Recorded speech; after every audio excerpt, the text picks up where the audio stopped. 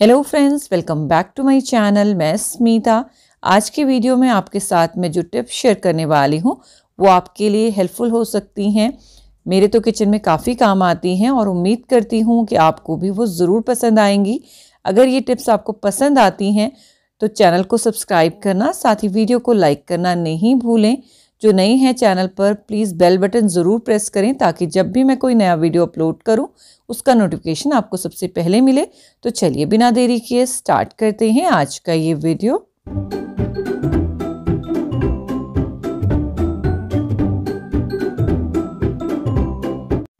first tip cleaning related है और वो भी है हमारे जो स्क्रब एंड जूने होते हैं, उनके लिए। मैं यहाँ पर कोरी का यूज़ करती हूँ आजकल स्क्रबर लेकिन इसमें बहुत जल्दी जर्म बिल्टअप होने के चांसेस रहते हैं। तो उसको मैं किस तरह से सॉल्व करती हूँ, वही इस टिप में मैं आपके साथ शेयर कर रही हूँ। यहाँ पर मैंने हल्का सा गर्म पानी लिया। इसमें मैंने ऐड किया है थोड़ा सा डिटर्जेंट उसके साथ बेकिंग सोडा और विनेगर तो ये तीनों चीज़ें हमें एक एक चम्मच के हिसाब से ऐड करनी है, कुल क्वांटिटी में हो। तो यहाँ पर ये हल्के गर्म पानी में मैंने ऐड किया है।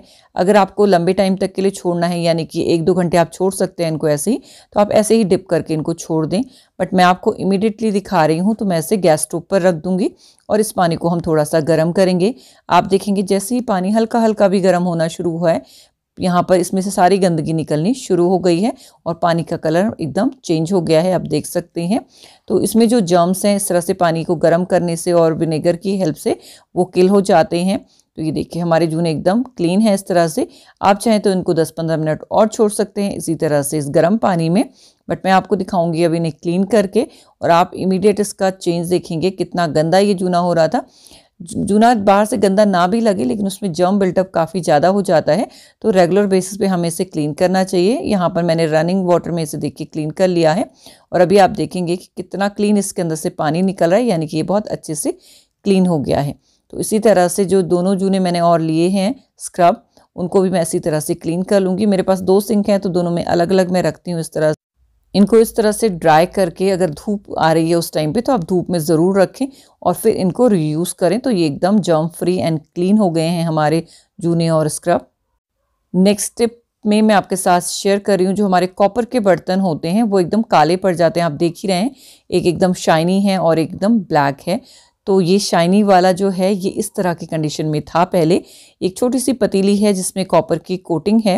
इसमें मैं अक्सर जो हमारी सब्ज़ियाँ बच जाती हैं लेफ़्ट ओवर फ़ूड जो होता है, उसको रखती हूँ और इसी में मैं गर्म करती हूँ तो इस वजह से बाहर से काफ़ी बर्न हो गया है।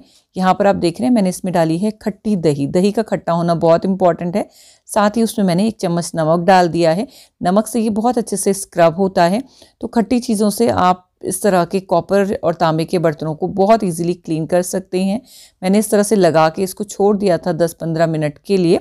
और उसके बाद आप देखेंगे कहीं कहीं से ये बिल्कुल क्लीन होना शुरू हो गया है।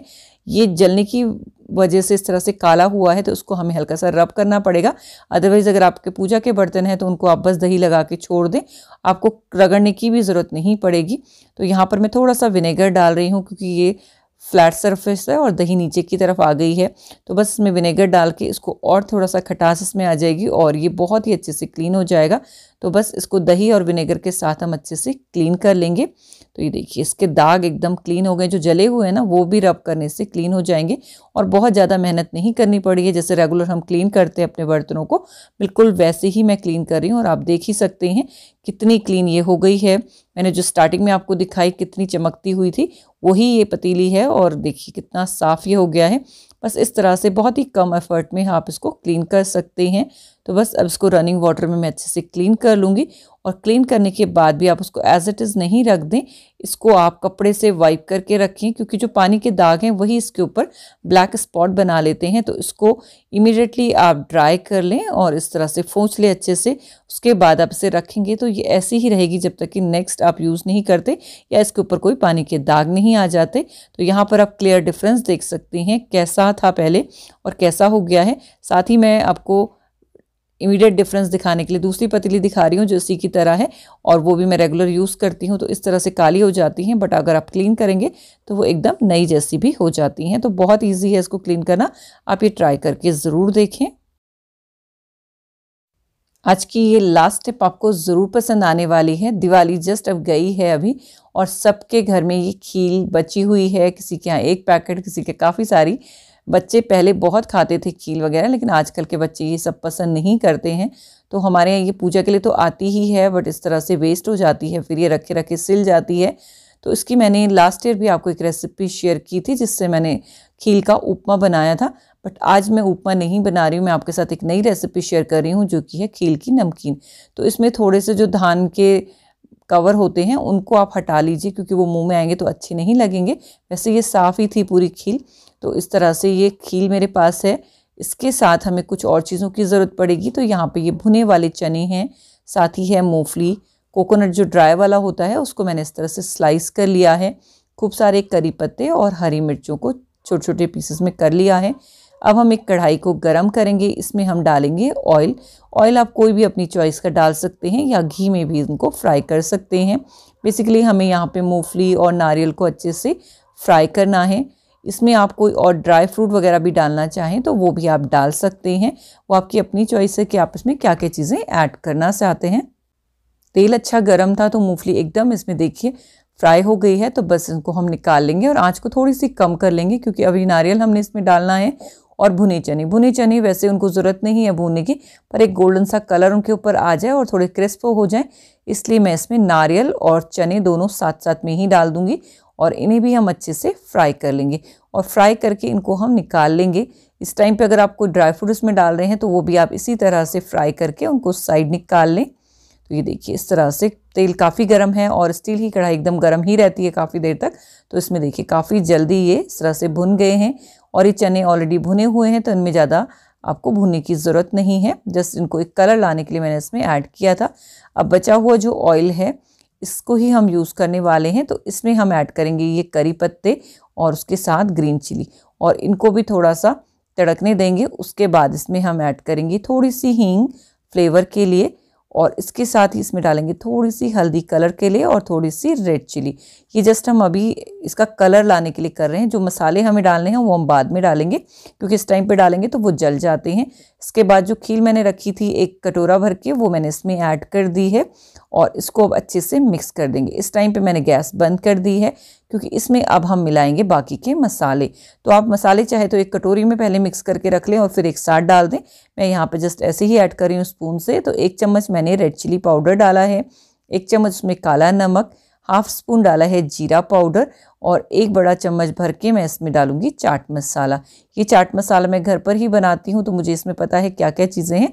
तो हिसाब से मैंने इसमें एक चम्मच डाला है। आप अगर मार्केट का यूज़ करते हैं तो आप देख लीजिए कितना खट्टा कैसा है उसका टेस्ट उसके हिसाब से आप एक या डेढ़ स्पून डाल सकते हैं।